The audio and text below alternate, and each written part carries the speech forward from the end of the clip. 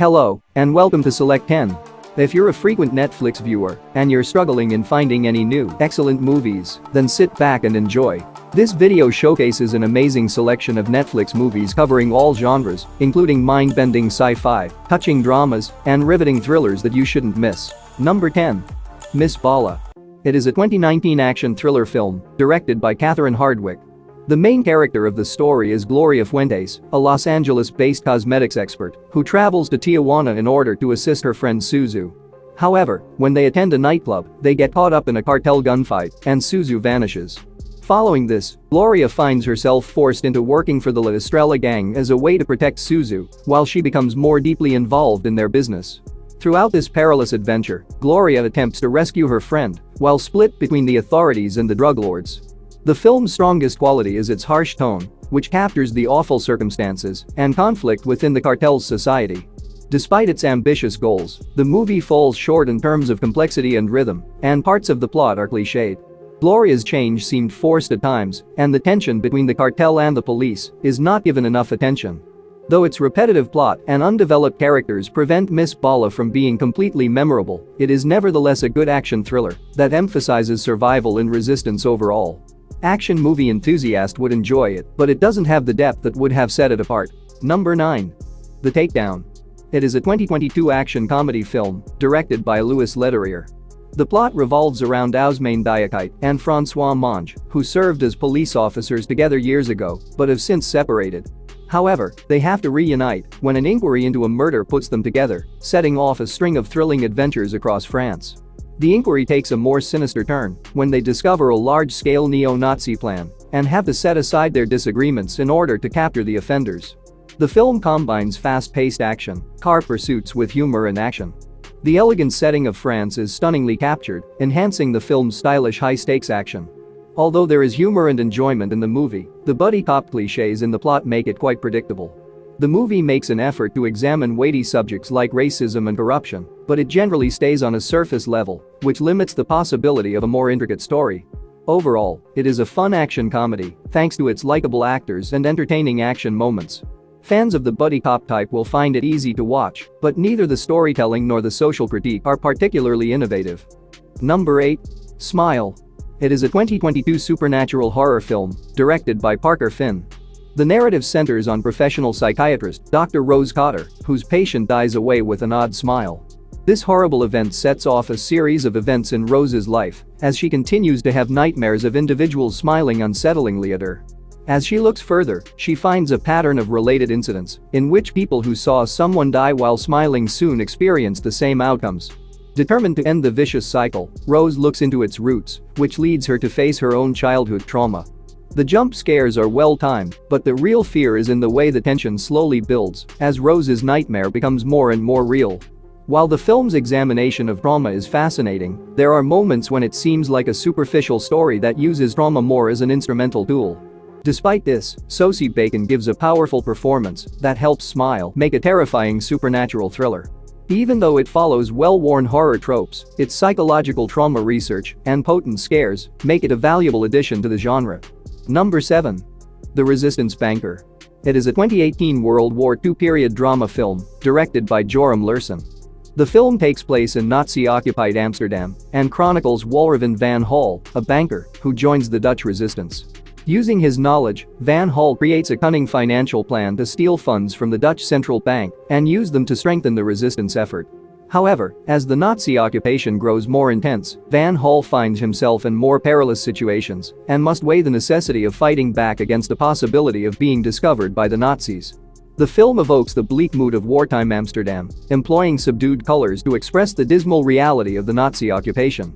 The historical detail is impressive and creates an immersive atmosphere that increases the narrative's intensity. The movie works well as a historical drama, but it places a lot more emphasis on the financial processes than on the human consequences of resistance, which could make some viewers feel emotionally detached from the story. However, taken as a whole, it offers a unique perspective on World War II via the eyes of resistance and finance. It may be a little exhausting at times, but it's still an amazing ode to the forgotten heroes who stood up to Nazi oppression by using their intelligence rather than their strength. Number 6. He Never Died. It is a 2015 horror comedy film directed by Jason Krawczyk. The plot focuses around Jack, an immortal being who resides in loneliness, cut off from the majority of humanity. But when his daughter Andrea, who has been missing for a long time, returns, everything changes.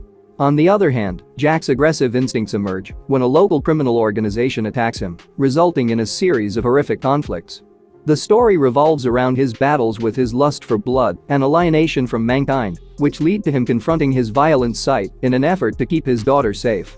The supernatural aspects are subtle, and the violence is severe, with the emphasis being more on Jack's inner struggle than on eye-catching effects. The film's essence lies in Henry Rollins' performance of Jack, his grim, somber voice gives the persona a touch of threat, in addition to wickedness. Although the film gives a distinctive perspective on the horror genre, not everyone will find its simple premise to be engaging. The film's balance of ominous humor and violence worked well, but its independent nature may make it feel inconsistent at times. However, fans of unusual horror will value its distinctiveness. Number 5. What Happened to Monday? It is a 2017 dystopian science fiction action thriller film, directed by Tommy Wirkola. The movie is situated in a future where overpopulation is a problem and stringent one-child policies are enforced by the government. The main focus is on Terrence Settman, who hides his seven twin granddaughters and names them after each day of the week. On the day of their name, each sister is permitted to go outside while posing as Karen Settman.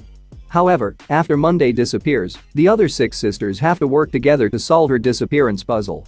As they explore, they learn startling details about Monday's fate and how far the authorities will go to keep power. The visual effects employed to generate seven different versions of Noomi Rapace are flawless, enabling each sister to have her own identity despite their identical looks. The movie has an interesting premise, but in the second half, it veers too far into the action thriller area, which takes away from the dystopian setting's appealing elements. Overall, it is a high-concept sci-fi thriller that combines action with thought-provoking societal critique.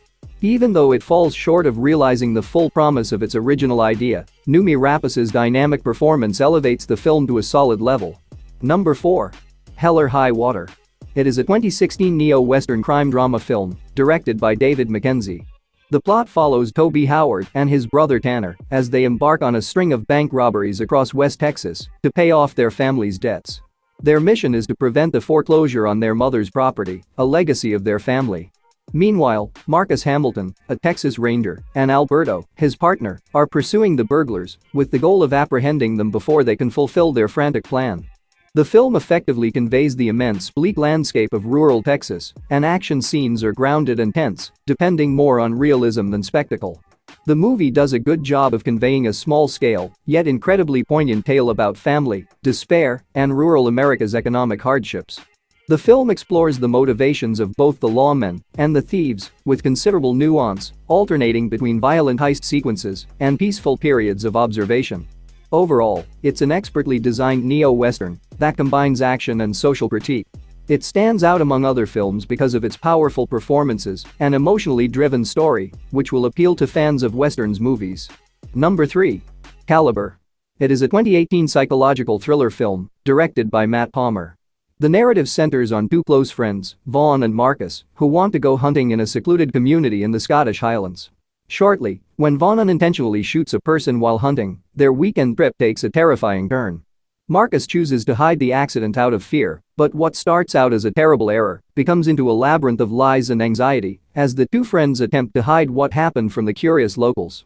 The connection between Vaughn and Marcus is fundamental to the film's drama. Their friendship is put to the test in ways that highlight both of their virtues and shortcomings, which deepens the story as their mental health declines.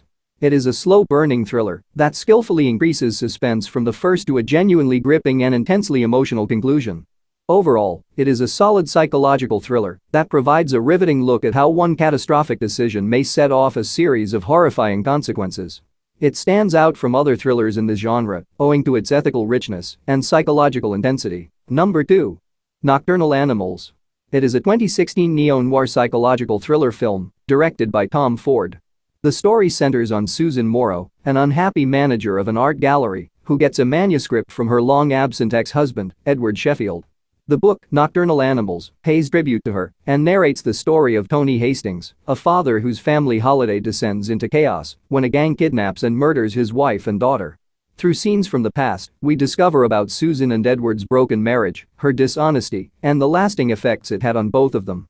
It is a carefully crafted movie that skillfully blends two parallel tales, one true, one made up, into a profound reflection on regret and vengeance. Because of its cerebral story structure, the movie may not to appeal to all, but its complex topics and visual storytelling provide an engaging thought-provoking experience. Overall, it is a frightening and brilliantly written psychological thriller that explores the emotional complexity of love, betrayal, and retribution. It's a film that sticks in your head long after the credits have rolled, thanks to its distinctive narrative structure. Number 1. Guillermo del Toro's Pinocchio. It I an animated dark fantasy film, directed by Guillermo del Toro and Mark Gustafson. The movie is set in Italy during the World War and follows Geppetto, a woodcarver who loses his son, Carlo, in war. In a state of booze, Geppetto creates Pinocchio, a puppet made of wood that is given life by a mysterious wood fairy.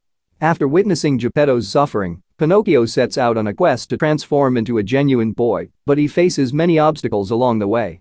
The stop-motion animation in the movie is simply amazing. Each frame is precisely created, showcasing intricate character designs and moody backdrops that vividly depict Italy in the 1930s. The movie has a whimsical yet eerie look that is characteristic of Del Toro's dark and magical visual style. In general, it is a daring retelling of a well-known story that introduces gloom not often found in earlier versions. It differs from other experiences because it delves further into philosophy and explores themes such as fascism, mortality, and the fragility of life. Additionally, the film's darker tone may not appeal to younger audiences who are used to a more amusing interpretation of the story, but it is still one of the most unique and memorable Pinocchio adaptations. That's it for today. Thank you for watching this video. And do subscribe our channel to see more videos related to movies and series suggestions.